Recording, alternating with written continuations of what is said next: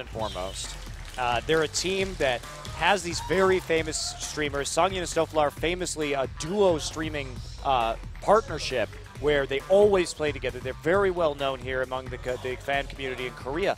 But for KT, a team, a professional organization, to lose to professional streamers is humiliating. And Najin already suffered that fate, so the question is, can Anarchy, without that element of surprise, because of course that was the first series and everyone was like, wow, look at Mickey, he's so good. They didn't actually account for his just pressure around mid, and the Lira-Mickey duo ran over Najin in that three-game series.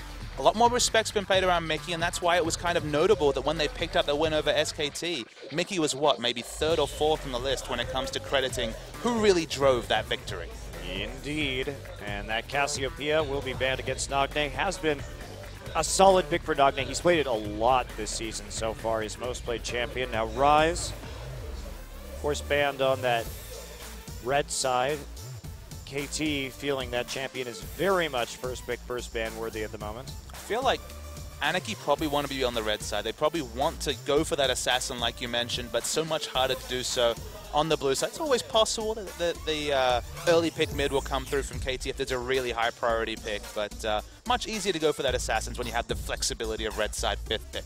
Yeah, the only one you can really pick up safely is that LeBlanc. Sure. And it hasn't, I mean, it's been fine, but it hasn't necessarily been the Zed that we saw against Najin. Sure. So Alistar also removed here by KT. Kalista been surprisingly banned by Anarchy. Uh, Songyun apparently not comfortable in that champion. Ahri, Ahri against Nagne. And talked about that a little bit earlier. I'm not impressed by Ahri as a champion right now, and Mickey plays it. So I wonder what this means. It's really peculiar. This must be a very specific mid lane champion wants to pick up because literally Nagne got kind of embarrassed on this champion, solo think, killed by Varus with his jungler watching in front of him. I think this is a first pick Viktor. That's what I think.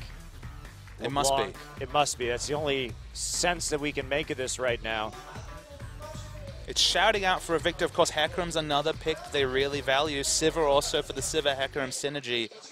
There are a lot of picks that are up, but Viktor, a lot of the champions that deal well with him in lane are on the ban list. Yeah, the, the one thing you have to worry about is that Gragas, though. If they first pick Viktor, giving up the Gragas could mean that Viktor gets knocked right into the front line. So the old KT that, I mean, basically the eight game run that we're talking about, the big thing for them was their power in the drafting phase. Suddenly, we're already talking about priority picks that need to be snapped up. At least on paper, there is a very strong red side two picks. Viktor, for example, available to be picked up by KT. Yeah, and I think they have to take it away right now. Otherwise, you know Anarchy's going to go for that champion. We've seen Viktor be pretty high priority here in Korea among uh, many teams, and of course, banned out in all of our games in the previous set. Viktor Thresh? Yep. Definitely a possibility if they want to deny the ability for a Snowflower to make plays on the lane, and Ssumday he's in a battle right now for off-meta champions with Faker, wanting to go for that Yasuo perhaps in the top side. And we have not seen new Ashe in Korea yet. It's not really a surprise. Famously, when Jinx was released, every other region picked it up, and Korea just wasn't going for it. In fact, we talked at the time, and you were just basically saying, look, no escapes. It's going to be slow for people to pick it up. Probably going to be the same story with this Ashe. Okay, well, it is Annie Sivir. So KT is going to react to their recent tough times where they used to be this team that just loved to tower dive you with Sivir and Annie. Towards the end of last season, they were just all in you, very quick, very high kill wins. And it looks like they're going to fall back on that strategy once again. And guess who was banned in both those games against the KOO Tigers? KOO banned Sivir both games. Yes. And Arrow, he struggled on other champions, but Sivir's so much more straightforward to get going. KT is a team that loves Sivir, I think, unlike any other team in this league. Very reliant on that champion at the moment. A lot of power left in the draft. We mentioned the Thresh. That was the MVP performer against SKT Telecom T1 they picked up that big win on was Snowflower on the Thresh. They're going to lock it away and the Corki taken as well. The lane matchup's just fine. The Power Spike Urs more on the early side. Big question is, if you see that champion, it really does shout Zed, doesn't it? You've got more magic damage coming through on the lineup. I'm thinking Assassin Flavor is coming in the mid. I love Assassin Flavor. What does Assassin Flavor taste like? Uh, dried blood, uh, smoke. hmm. That's how I like my scotch. Bit of Ash as well. Yeah, a bit of Ash. All right, Maokai, consideration right here. Another dive champion, Ssumday famous for his ability to flank and score, maybe taking another stab at this Nunu. Now, score has typically been a very good Nunu, but just Hmm. Extremely passive against the Tiger. And they had uh, that amazingly weird comp we mentioned before with the Ryze and Nunu, where they didn't have any synergy with the Blood Boil. And Sivir, again, not really a big Blood Boil user, haven't been moving towards the Azir. So they move away from the Nunu, again, earlier power spikes with the Rek'Sai. Wait and see where Annie can go with their draft. They can go really any way. They can go for the Varus Corki. really strong with the Gragas. Varus, Corki, Gragas, again, very similar trio that uh, KOO Tigers were able to use to take down. Uh, so KT has seen this firsthand once already. And what would they play actually against that Varus with the Ahri ban that was a champion that Kuro managed to solo kill Nagne with that Varus into Ahri matchup, but apparently the respect is there for Anarchy as they look to blind pick a Varus and potentially a Cinderhulk Fizz in the top side. One of your favorites. Indeed. Well, it's a strong 4-1 composition, I'll give them that. It's actually very good in lane against Maokai. We have seen Maokai's win the matchup, so it's maybe tenuous like the Rumble Maokai that we saw multiple times in the previous series. And speaking of that Rumble, the Yodel finds a way, and they go with Rumble. Yeah, great poke off of turrets here for Anarchy that basically they can drop Explosive Cask or Equalizer to solidify a siege and take out a tower. I really like that combo. I agree completely. Excellent siege when you've got the the Corki and Varus, and it's mixed damage siege as well. Very high line physical damage, very high line magic damage with the Corki rockets. And as you mentioned, explosive cask. It's not the old AP Gragas where you just throw off a cast half health, everyone get them off their turret, but it's the same thing. You're going for turret damage. Uh, by pushing people and displacing people away, and they're going to look for an assassin. They'd already banned the Ahri. They're wondering what's le- left in the pool, and it might be Fizz. It might be Fizz, but that will leave them with limited wave clear options in the mid lane. In the mid lane. Sure. Uh, and especially if a 4-1 siege starts, they may have some trouble. Instead, going for a Twisted Fate, the back line initiation. That's a great pick, actually. That's nice to see. We haven't seen a lot of Twisted Fate, but it has been starting to crop up. It matches the wave clear of the Varus. Both of them have very uh, high line damage when it comes to either the wild cards or the, the Q. Going to look to take the cleanse, I guess, thinking more defensively. That will hurt his roam and his global initiations, but he got so much CC and lanes from the likes of Annie, from the likes of Maokai. CC in general, massive on the side of, of KT. Well, this is how they like to play. Very aggressively, going for the dives, going for the ganks, and then just snowballing very, very quickly in the game. So KT kind of returning. Now, Anarchy putting together a composition like the one that the KOO Tigers used to beat them. Maybe sensing that they're going to be weak to this siege. They certainly looked it. But this time, KT has a much better draft. They have the tools to disrupt this backline. And that Varus, if Nagne gets Azonias, is dead. And that's a really good point. Is they're playing against it, but look at the adaptation. Now they have Maokai with the flank engage, with the home guard potential. They have Twisted Fate, as you mentioned, even has the cleanse to guarantee the gold card into the Zhonya's. Will not be able to CC him and kill him before the Zhonya's. And even Annie, Flash Annie with the Sivir speed. How do you stay safe as Mickey and still do damage? He's got a lot of range, but it might still not be enough. I don't think this is enough. There are too many tools to attack the back line from KT now, and if they can hit an item power spike, the Zhonya's on the TF could very well seal this game up. Well, it's Anarchy versus KT Rolster game one. Let's get into it.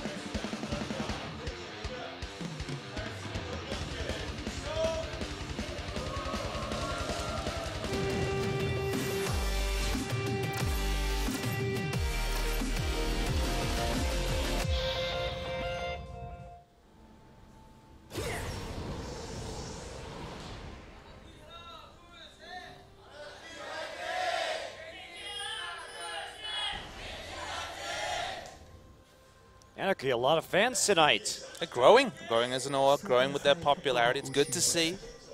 They've just taken a win off SKT, so what other time to really get into full voice? Sure, not a series win, but a game nonetheless. And I love the fact that KT have been able to actually find a draft that works against what might develop as a real meta combination. This Varus Corki, or Double AD in general, has been doing a lot of winning recently. As Fixer and Snowflower, just donate gold over to the Annie. Yeah, that's right. Fixer. Free money. Hit skeletons, free money. It's my motto in life, Papa Smithy. How's that working out for you? I need more skeletons so I can get free money. Look, I'm sure that Thorin will find some of those skeletons. All right. Well, they're going to back off right there. Actually, Mickey taking a lot of damage. Looks like Nagne getting to him just a tiny, tiny bit. I think that the lantern had to be taken first right there from Snowflower. Awkward, of course, makes Delaney much weaker at level one. If they look for a lane swap, it won't be a big consideration. I guess you could just use it to tank a bit of the Krugs if you do see the Krug start. But uh, yeah, nice draft on both sides. My issue, I guess, for Anakin, as you have alluded to, is that you kind of only have the explosive cask for disengage. Of course, Snowflower can do some work with the Flay and the box himself, but you need to almost explosive cask two of these threats, otherwise one of them is going to get through. Well, also the problem is is that the chain of corruption and the equalizer are going to have to be used in very weird situations just because KT can attack you from like three angles at once. So there's not going to be a lot of value in the AoE that Anarchy is using in this game, and Fixer just being as annoying as possible right now. He has a W stun. He's going to not take it Smite used. Forces out the smite, at least in the jungle forest. That will decrease the speed on the next camp, so just successfully being super annoying is the Annie.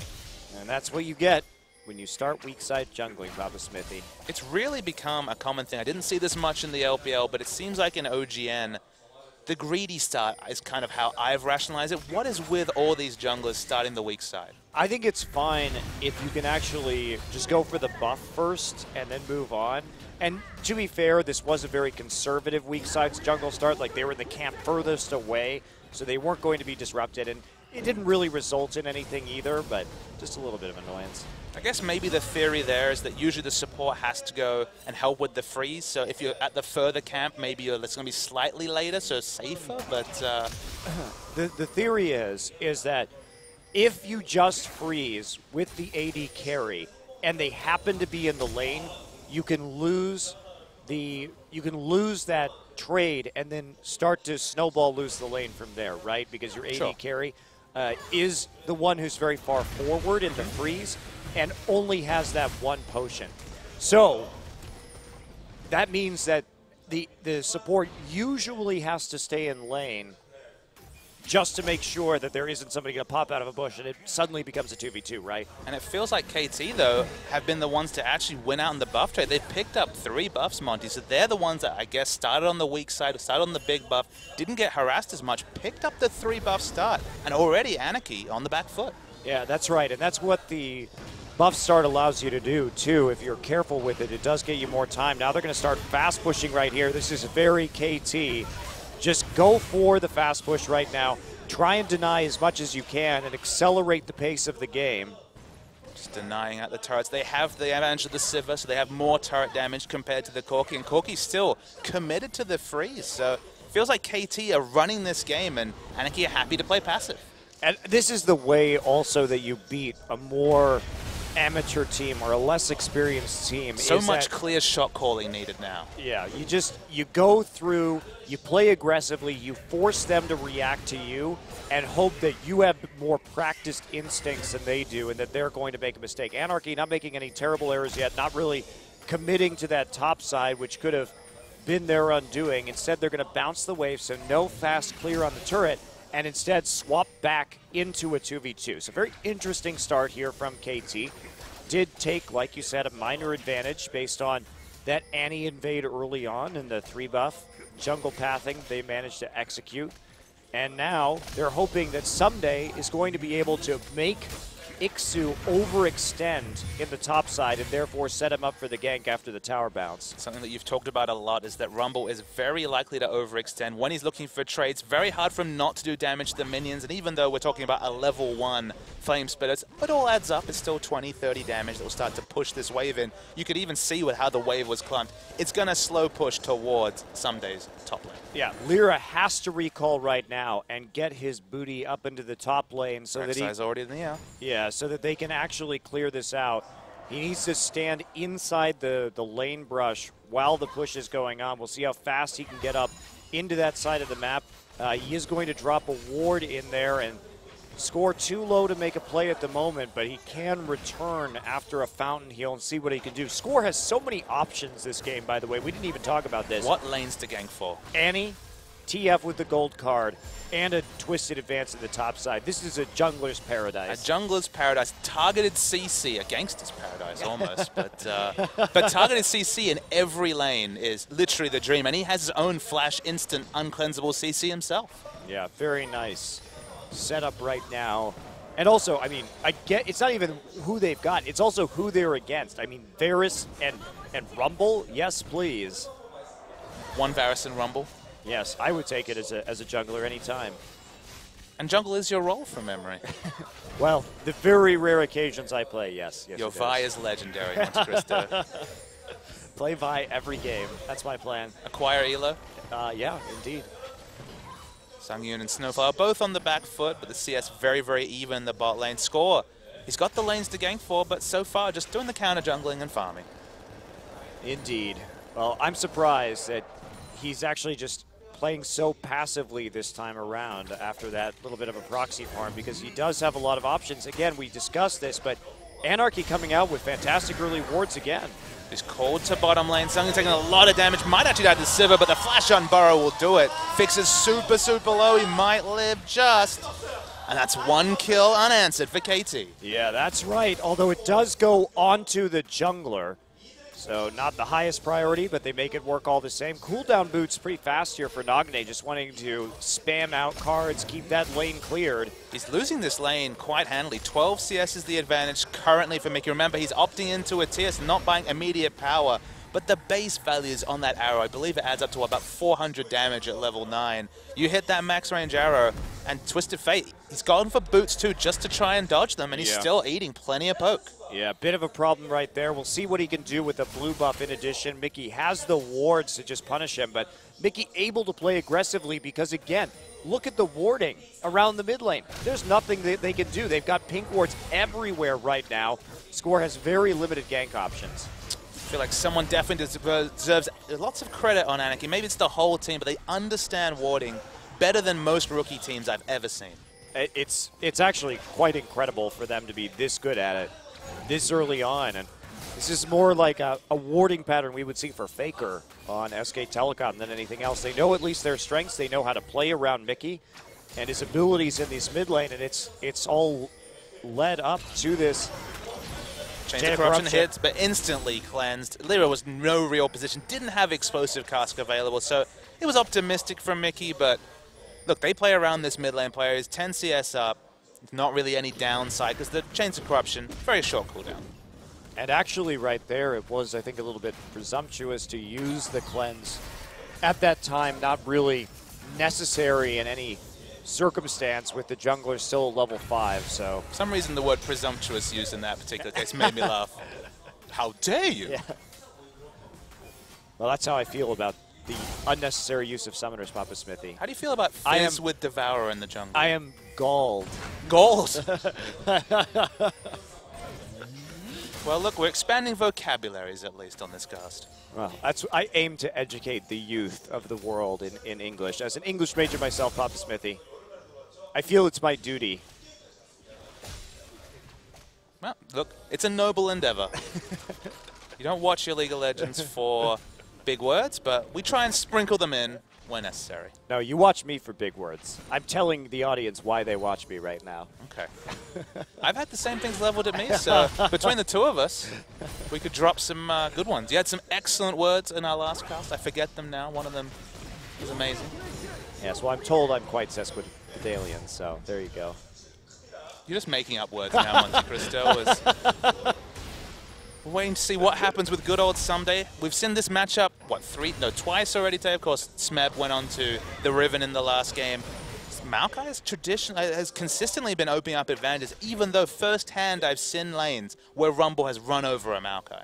Yeah, this it does tend to, at least in Korea, go the way of the Maokai, though, especially with that. There's a lot of gold, though, in that early start with the Doran's Ring, so it comes at a price, uh, definitely for the win. And Mickey again showing some accuracy on that Varus. And Score wants to give him a little room for pause. But Nagne's been bottled up in this mid lane. They have to clear out these wards, so Mickey can't play like he is right now. And Nagne's had to build suboptimally. He's had to go for boots too. And look, it's always a flexible option, but it's not really the power where you want it with your early 1,000 gold purchase. Now he's very overextended, and Rek'Sai is going to come in. And there's a blue card lock that's not going to be enough. Ssumday wants to make a play right here. Snowflowers, of course, there, though, tearing Mickey out of harm's way. At least that all followed, though. He was playing aggressively, but he had both the jungler in the enemy jungle and also some backing. And Sung is going to get turret dive. And there's the stun, into the stun, into the boomerang blade. Ixu is there with an equalizer. Not sure how much that's going to do. Snowflower back on his way down. TP onto Tibbers that's taking the turret. And Ixu is just going to go down right after that. What a wonderful TP from Ssumday. Just excellent knowledge. Don't say that enough. And at the same time, it looks like Mickey will get mid turret. That's quite a heavy price to pay for two kills unless they pick up the turret themselves, and they won't. Look, I think it's a pretty even trade because the power Absolutely. of taking out the mid lane turret at what, 11 minutes into the game, we often see this structure still up 15, 20 minutes into a game. Yeah, absolutely true. And the fact that they retain their turrets as well, very nice for Anarchy's siege composition. But that said, they're still at a gold deficit in spite of the tower loss, and this is still a composition that is going to run them over in the late game because of their lack of a tank line and the number of ways that KT has to engage. KT going to bounce back though and actually punish the recalls look like with a dragon. They don't have the ultimate up from Twisted Fate, but he's going to wave clear and get to the dragon if he needs to. It doesn't even look like it's going to be cold over. It's in perfect vision of Anarchy, but there's no way for them to react. So look, at least they're trying to get something, although Thresh is close. Doesn't quite pick it up. No, Nagne also threatening on the outside. Fixers there. Seeing if they can get a pick right here. They're going to walk into a pink ward, and that'll cause the duo lane of Anarchy just to back off. The last time I saw a comp similar to KT's as the poke already doing a lot of damage from Mickey. But the last time I've seen this sort of comp was actually from Vici Gaming in the LPL. They love to run Lichbane Twisted Fate and just split push instantly. And one of the reasons why this is a great game for it, it's a Rumble. We already talked about the Riven Rumble matchup. Twisted Fate He's got the instant wave clear. It's pretty hard for the Rumble to punish him or even land with, with the boots 2 to boots 1 advantage, any sort of CC. So if you just split push this Twisted Fate, obviously you can instantly get to other lanes. It empowers the rest of your team to overextend. You should be so confident if you're on this KT lineup that there will be multiple members because we've got double globals, but well, triple globals actually. Rek'Sai, Maokai, and Twisted Fate can most of the time instantly react to any sort of skirmish. Yeah, and this is uh, this composition is very reminiscent of the one that Samsung ran with Bard instead of Annie, actually, uh, with those triple globals and the ability to get to any lane on the map extremely quickly. And he makes it scary because, you know, you're split pushing in top, you're split pushing in bottom, Flash Tibbers comes and suddenly it's a five-man turret dive. They have a lot of flexible options. We already mentioned the fact that it's against a squishy double AD backline, so they have the engage happening there as well. KT have a lot of options, and it's heartening to see them move away from Nunu Rise, Orianna, kind of like what what bad. going on to against a very similar comp. I actually prefer this composition with Bard over Annie because you can engage from the black, from the fog of Speaking war. Of engage. Oh, here we go. Looks like that's not going to result in anything, though. Chain of Corruption thrown out. Mickey going to take some damage on it on Burrow, but they can't find the follow-up. They desperately want to blow Mickey's summoner spells, but have not been able to do so. So I like the Bard better because you can engage from the Fog of War, pop Sivir ult, and then be on top of them by the time that they come out of stasis. And then there's no there's no counterplay to that from a back line uh, like the Varus and the Corki. So it's a, a fun combination as well, but perhaps Fixer not feeling comfortable on that Bard quite yet. I feel like the Bard comp has a higher ceiling. I think it can be better, but yes. you need to be so confident both as Bard and with Bard. Again, he's one of those champions that warps how you play quite dramatically, and we unfortunately haven't seen any more Samsung Bard because Wraith has hit the lineup over Luna. And Sweet has been out too on generic. All the Bard boys are just in solo queue, obviously practicing their mechanics, and we might see a Riven-like resurgence from the Bard mains. I, I hope so. Fingers crossed. Bard's a cool champion. He is, and he's great with compositions with TF and Sivir. He's so. great at fighting around Scuttle Crab. You get those stuns through the Scuttle Crab. That's really satisfying when you pull it off. All right, Mickey still pushing up aggressively. All of his uh, flanks are warded How very little well. cares does he have at this point? He's so Zero. overextended. Well, he, but he has no threat either. I mean, you look at this Snowflower playing back right there. They have so many wards; they can see everyone on both sides of the mid lane. So he's absolutely free to keep punishing Nagne. I have not seen people solo farming and poking under an inner turret at 15 to 16 minutes into a game, but the pathing from Snowflower, it was the Thresh that got him the MVP. His team is there to relieve pressure and allow him to basically ruin the day for Nagne, to the point where this Twisted Fate side lane ganks, barring one, have been completely absent. And it's also pinning him there so he can't split push, Yep, too. that's the thing. He's stuck with a Lich Bane, doesn't have any sort of mana regen, so obviously has to use blue cards more than he wants, has to balance mana Oh, sustain. It's Fixer just gets caught and destroyed, drops the Tibbers, but it does nothing. Fixer on a little bit of a face-checking mission there. They knew he was coming. Ward's already there, and that's going to prompt an even harder siege from Anarchy as they're really doing a good job of putting the heat on during their power spike. They're putting the heat on against a team with three globals. That's the surprising thing is that I thought KT were going to play the full court press. It's Anarchy just from their smart rotations. And we've said it again, we'll say it again throughout the season. The warding, it's beautiful. It is, but Ixu has been hung out to dry on this top side. Ssumday's been increasing that lead and chipping away at the turret, so this won't last forever for Anarchy. They're kind of each team winning different parts of the map at the moment, but Look, Rumble losing is, is the one champion Yep. you're kind of content with that. It's never ideal to have someone losing, but if you're going to leave someone out to dry, it's the person with the lowest item uh, floor, as in the lowest amount of items to be relevant in the team fight. We've always talked about it. Double magic penetration, okay. It's not the backline diving Zhonya's flame spitter Rumble, but it's still a very relevant threat.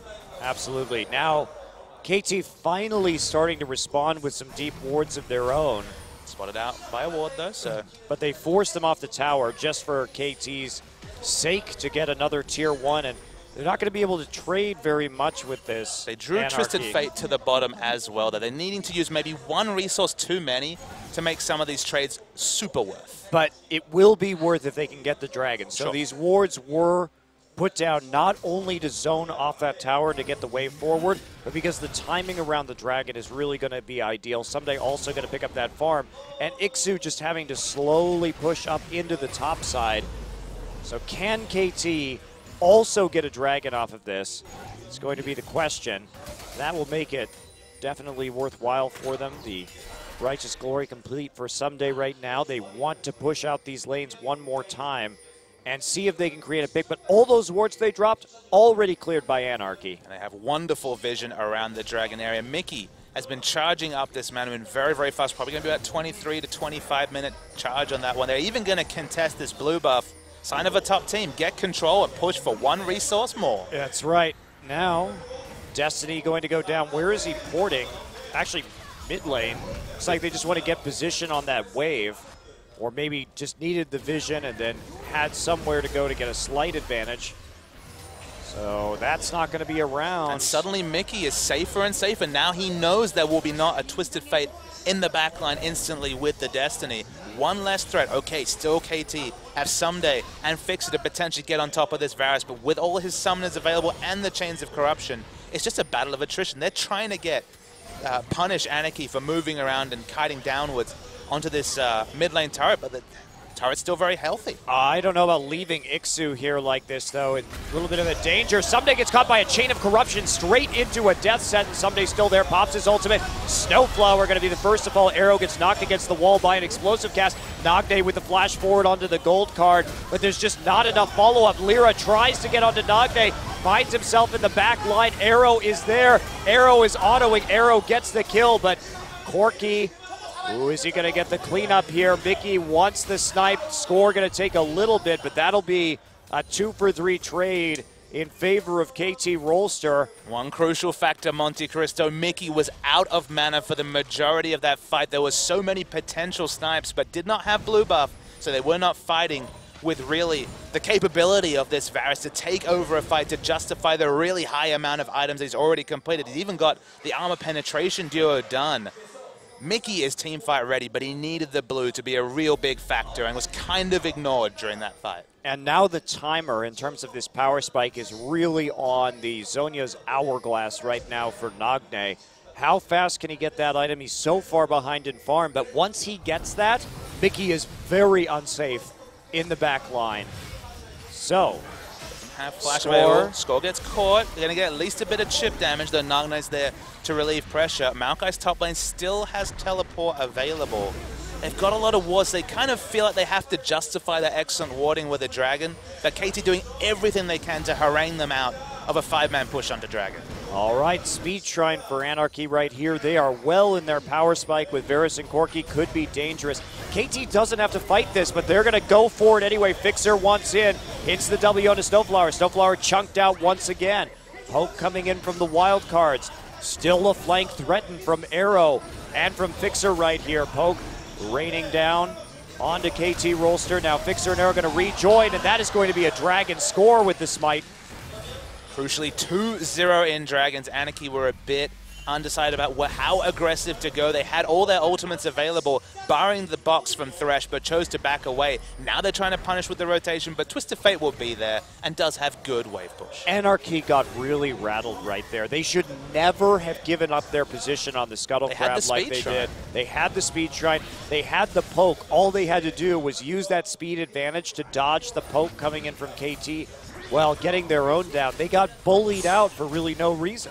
Again, it was just psychological warfare is really the only way we can put it. They had so much vision.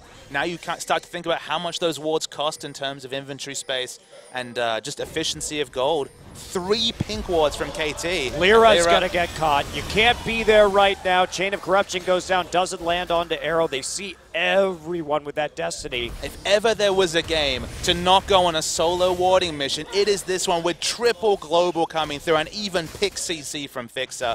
Just poor play from Leo, poor understanding of the comp he's against. it's still so difficult to play against this if you're if you're anarchy though this is a comp that is custom built to shut you down. So it's a, it was an uphill battle from the beginning for anarchy with this composition. And now you know with the two dragons gone this power spike is waning rapidly. Sangyoon actually going for a cutlass before getting those sword shoes. Not sure about that one. I know he's afraid of someone getting close to him here but this is a very good situation for KT Rolster to be in. And it's just delaying the time where Anarchy can just set up and poke under a turret. That's exactly what they're wanting to do, but we already mentioned it's very difficult to do against this comp. Arrow is a bit lazy with his recall. He's going to die for free. He thought he was in a position where he wasn't going to be spotted, but the answer was that he certainly was. Yeah, very sloppy from Arrow. He was shopping, you could see. Yep. Otherwise, he would have hit that spell shield. Pretty easy block onto Snowflower's Q. And it said not respecting that warning, And that's something that everyone has to really get a read on. Now, there's not really anything that Anarchy can do off of that. All the waves weren't in their favor. Can't take a dragon.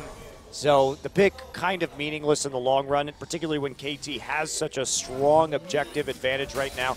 And considering that Anarchy has already fallen behind on turrets when they're the one running the siege mid-game siege comp is a very bad sign. Yeah, both turrets and dragons working against them. Crucial two dragons already completed by KT, and that's after the prepping. The ward play, as we talked about, has been on point. To then lose the dragon is super awkward for this Anarchy mid-game comp. Look, it's definitely not a bridge too far. They're going to pick up the answering turret at this point. They have excellent itemization onto their carries. It's just, how do you keep them safe against all the backline threat?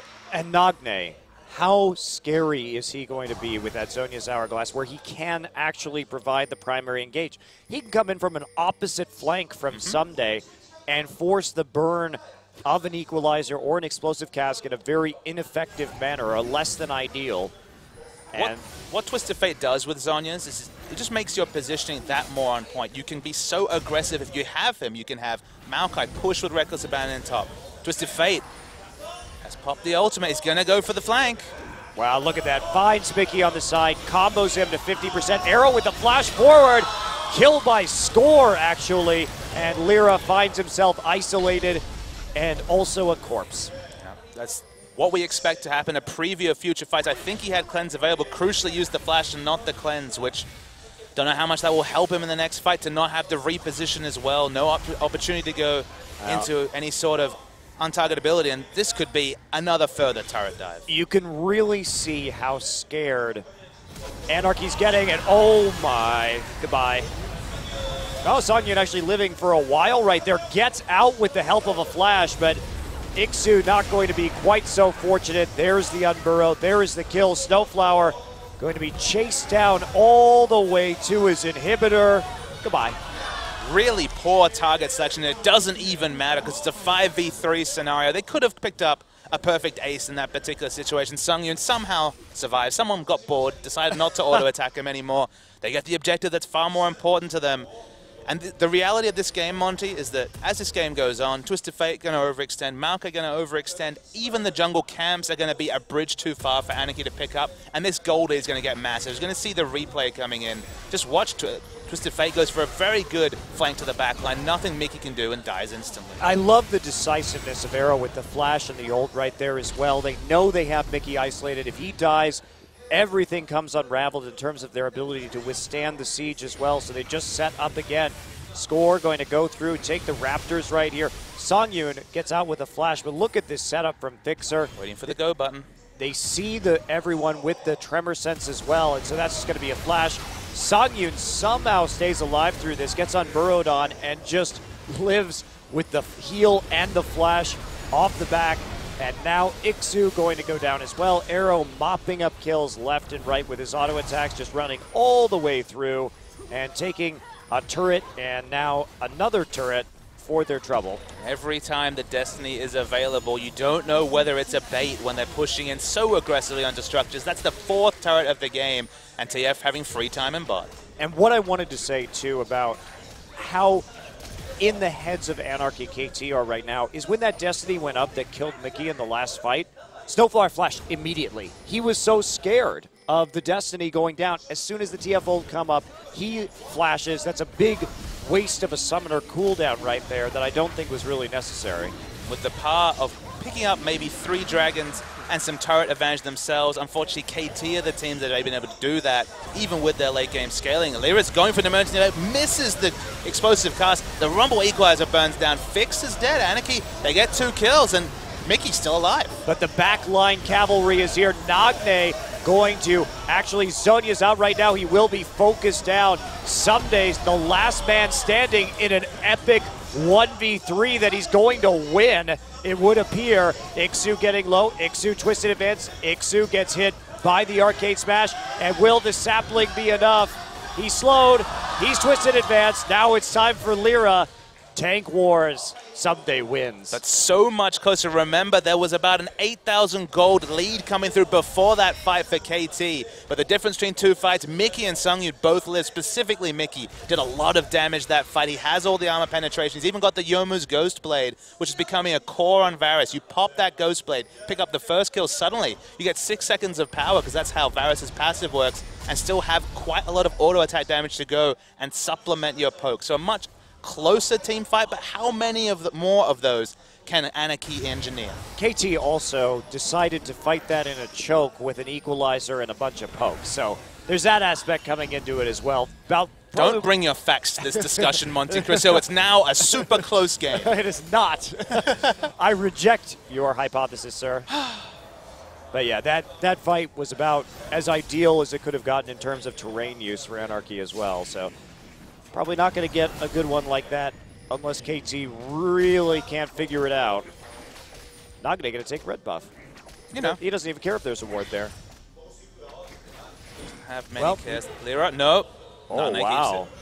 Actually used the smite right there. Has to explosive cask. Still gets hit by the Tibbers. Wild cards on his head. And there is a chilling smite. Can they finish it up? The answer is yes. Score steals the kill for no reason. Now they're ever present across the map. This is all without Civic Group. Just going to push down the mid. Another outer turret will fall. Only one going to be left on the map after picking up this objective. And Ssumday, you can tell by his health bar that he's pretty tanky. He's even going to go in right there. Equalizer down, Chain of Corruption down. There's not going to be follow-up thanks to the Varus ultimate. And there's the Righteous Glory pop KT starting to back off this one. Arrow has to flash out of the Flame Spitter. But not before he picks up a kill onto Sangyoon. Two defenders remaining. That'll be enough considering the low HP bars for KT to pack their bags and head home. So much gold in the bank. Rek'Sai 2,000 plus gold. Sivir 2,000 plus gold. Going for the Bloodthirster. No rush to pick up any sort of armor penetration because it's literally no armor on the side of Anarchy. Yeah, that is a that's a bad situation to be in, where the Sivir can just rebuild a Bloodthirster and Infinity Edge And still armor cut everyone like butter. it's uh, not not good. No. Well, I really like the comp we're seeing coming out of KT this game. They, I think they learned from their mistakes from the KOO Tigers. But can you fault Anarchy for just a couple days after that match, thinking that they could maybe try the same tactic? Righteous Glory used again back away. No, I don't. I think you go for it, but it's kind of heartening if you're a KT fan to say, look, they obviously reviewed the VOD, they talked with the analysts. Now they're more equipped to deal with double AD that a lot of teams are defaulting to. It's not Varus Vayne, it's Varus Corki, which I personally prefer more. You have that mixed damage poke that's so hard to deal with. Snowflower finds five members, but uh, somehow lives. Yeah, they weren't actually particularly decisive on that engage right there. I really think KT could have gone for it, but they're also setting up, they're developing their split push right now. Nagne on the side, doing a lot of work. So there's not really a rush for KT. Look at their vision on the top side as well. They have 100% control over the Baron pit. They have a great split push. They're going to get something regardless of what happens. And it's a risk to pick up your Raptors. It's a risk to actually go and fight for the walls of your Anarchy because of these globals, like we mentioned, because of all the advanced wards that KT have been able to push up. It's one of those games where eventually you keep pushing up waves until there's just been more than three minutes since Anarchy have even had a chance to put down a ward around Baron. And there should be one of these Barons that's almost uncontestable for Anarchy. And that should be just maybe the last window into the game for Anarchy closed and KT to round it out. Uh, absolutely. Well, they could do this Baron really at any time right now. They could force a face check at any time. KT actually maybe playing too far up on these lanes in terms of the split pushing. And they are really going for the full vision denial right here. I mean, they could do this. There's the stun, and Snowflower gets caught. Gold card will lock him up. Rek'Sai's just walking into the back Here line. we go. Are we going to see that Destiny? Yes, we will. Oh, goodbye, though, to Nagne before he can use the Zhonya's Hourglass. Now they're still moving forward. Great stun, and that'll be a cleanup probably onto Ixu. He's on top of Arrow, but Arrow going to get the fadeaway boomerang blade for the kill. Yeah, Sung actually going to get aggressed onto. Ssumday goes back and goes for the turret dive, tanks a lot of turret shots, so probably going to fall though. He's Maokai, super tanky, high base boost, lives and takes down the AD carry. Now fighting against Lira, gets another passive proc. Ssumday's going to live. And he is Arrow actually forcing the flash onto Lira right there. We've seen two really good Maokai fights tonight. One from Smeb, one from Ssumday now, playing on the brink, using that auto attack to get up. But uh, KT still taking some lumps right there as the Foss Bomb combo just annihilated Nagne before he could hit his Zhonya's. Speaking of annihilation, don't know if Thresh has the damage. Has Ignite up, really wants Arrow to step through one of these walls, doesn't do it. You know, it's probably a bad point in the game when you try and duel the enemy Sivir who has Infinity Edge, Bloodthirster, It's really- Statikk Shiv. It's really the Bloodthirster. When you see that, you should know you can't actually duel her anymore if you're a Thresh. Probably would have meant more uh, stream viewers if you'd been able to pick up that solo kill. So maybe not the worst reason to go for that one. It's going to be the fourth dragon, so didn't think KT needed another win condition, but add that one to the list. Yes, they they want everything in this game, Papa. Just take it all up while they can. Why the hell not? Anarchy, to their credit, have played well. It's just, I feel like the champion select. I wouldn't even say let them down. I just feel like KT have done everything right. They've picked well, they've played around things well. Ssumday's unkillable, and just no one can make him accountable. Now they've finished the Thorn Mail. It's just a disgusting amount of armor. And this is the Baron that's been prepped for the last, what, seven minutes of the game. There's never been a chance to get wards around. Scrying Orb comes through.